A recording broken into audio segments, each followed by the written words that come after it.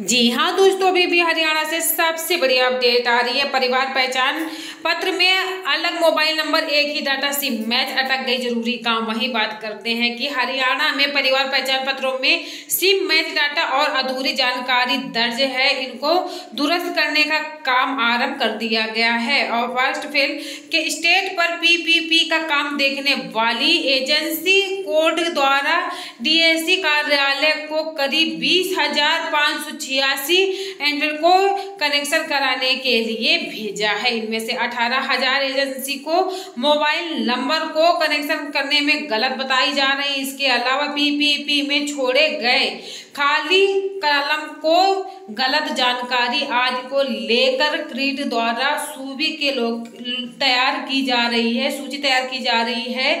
जिला में चार लाख अट्ठावन हज़ार फैमिली आईडी बनी है। इनमें से कई आईडी में अधूरी जानकारी व डेटा सिम मैच में इन जानकारियों को दुरुस्त करने की गुहार लगाई गई है। इसके लिए पीपी पोर्टल का काम देख रेख में है और एजेंसी द्वारा पीपी में दर्ज, दर्जनों भर मोबाइल नंबर पर और एडीसी ऊपर संपर्क के लिए पहले ही चरण में दो हज़ार पाँच सौ छियासी ऐसे सिम डाटा मैच हुए हैं, जिसे दुरुस्त करने के लिए पीपीपी में मोबाइल नंबर का सूचना भी ज़रूरी है। तो दोस्तों, जुड़े रहे आप सभी लोग हमारे साथ, हमारे वीडियो को अंदर तक देखें लाइक सब्सक्राइब करना मत भूलेंगे धन्यवाद।